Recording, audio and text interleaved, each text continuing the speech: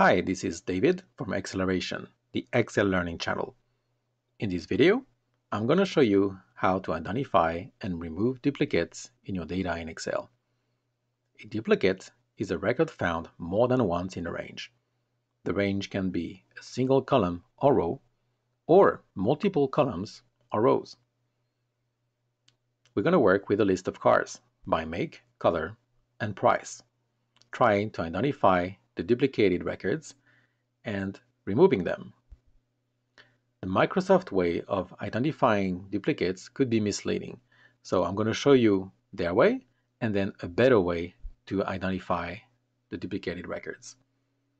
According to Microsoft, to identify duplicates, you need to first select your data and on the Home tab, choosing Conditional Formatting, highlight Cells Rules, and finally duplicate values. Clicking on OK. And then the so-called duplicated values uh, will show up in a conditional format. And it's actually very hard to read and it could be misleading because uh, those are not necessarily uh, duplicated records, but just know like within each column uh, values that are found more than once, not taking a look at the entire record. So not necessarily uh, duplicated. So let me cancel that. And uh, let's go over the way to remove duplicates according to Microsoft. So selecting your data, and then under the Data tab, under Data Tools, remove duplicates. Always make sure that if you have headers uh, in your selection that you check the box for My Data as headers and then choosing how you want to define a duplicate record uh, by columns, whether you want to include only one column, two columns, or three columns. In my case, now let's say we want to only use the make to identify duplicated records. If I click on OK, it's going to tell me that four duplicated values were found and removed, and uh, leaving us with five unique values. So now if you take a look at the make, we do not have any duplicated values. Canceling and now going over using multiple columns by make, color only, removing the price, clicking on OK. Now only two uh, values were uh, found as being duplicated. Because even though Toyota is found multiple times, using the color as well, Toyota Black is a unique record, Toyota White is a unique record. And if I were to use all three uh, columns, then only one record was actually uh, duplicated.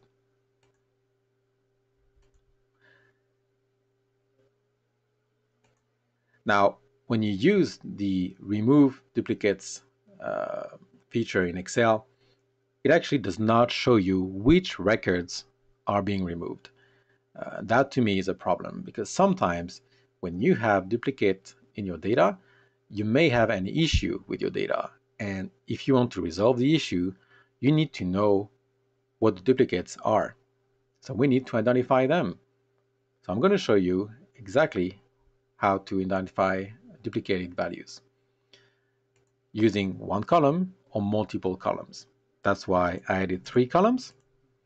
One that will only work with the make, the second to work with the make and color, and finally uh, one field using all three fields. So going to cell F11, typing equals if count if selecting my range using absolute values so the dollar signs for the columns as well as the rows comma criteria the first value uh, in my list cell C11 so if my count is greater than 1 then it's a duplicate. So comma double quotes dupe, double quotes, comma, double quotes, double quotes. So let's go over the formula. I'm going to count within my range the number of times like Toyota is listed. And if the count is greater than 1, then I want to return dupe or duplicate. And if it's 1 or not found, then nothing. So nothing would be double quotes, double quotes. So let's press enter. And it says dupe because Toyota is found multiple times. Using the same formula, so every time Toyota is listed, dupe is showing. Same thing for Ford, but Jeep, Volvo, and Subaru are unique values, so nothing is displayed. So it's great, but it's only using one column. So how do we make it work for multiple columns? We can actually use a very similar formula. So I'm going to copy it, go to cell G11, paste my formula, and instead of count if, we're going to modify it and choosing count ifs with an S at the end to have multiple criterias. I'm to, actually going to copy the first criteria because it's going to be very similar. So right after the first criteria, comma, and then instead of C, typing D to use column D, the color, as my second criteria. Clicking on enter. And now we have less duplicates uh, because, for instance, Toyota white is a unique record. There is no other row in my data showing Toyota white. And again, same thing, if we want to use three fields instead of two, we just need to add another criteria. And now instead of D, it's going to be E at the end. So modify modifying my formula real quick.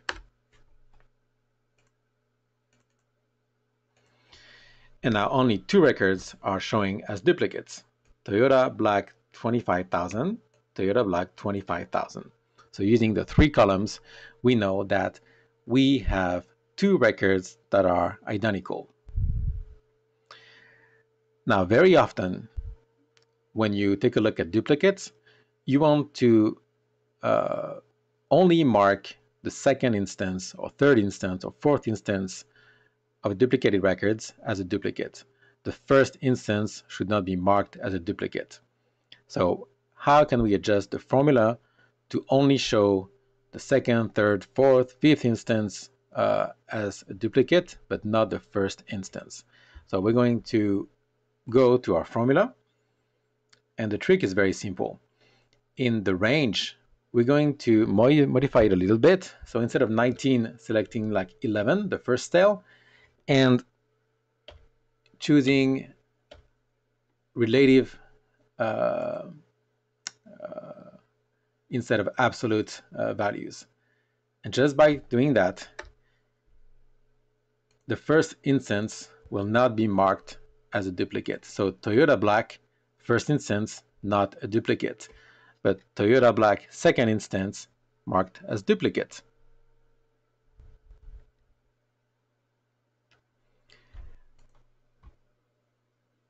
Now for the second uh, formula, same thing.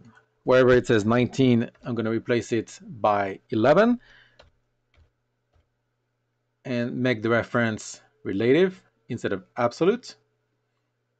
So same thing here, 11 removing the dollar sign.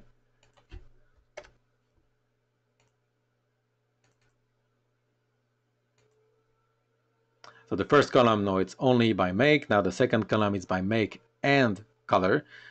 Uh, so Ford Blue second instance is a duplicate. First instance is not marked as a duplicate.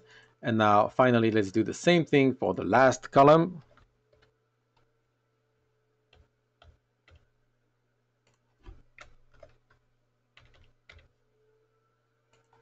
Almost done.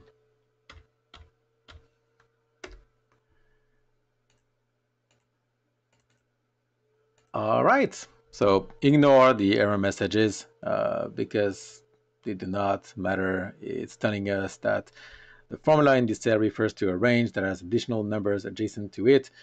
Uh, it does not affect the formula, and it shows only uh, the duplicated record based on three fields as, as a duplicate.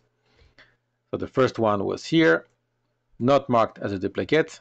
The second instance is marked as a duplicate. And from here, you can use you know, the uh, Excel feature to remove duplicates because now you know what the duplicates are. Or you can just know, also know, like apply know, like filters, uh, select know, like dupe, and then remove the, the specific row. But now uh, you actually know what you are removing which is much better than using the uh, native feature that does not allow you to see the duplicates before you remove them. So that's it for today, guys. Um, hopefully you liked the video. Please let me know by liking the video. If you have any questions or comments, feel free to drop them in the comment section in YouTube. And last but not least, Uh, subscribe to the channel for more cool videos. Thanks for watching.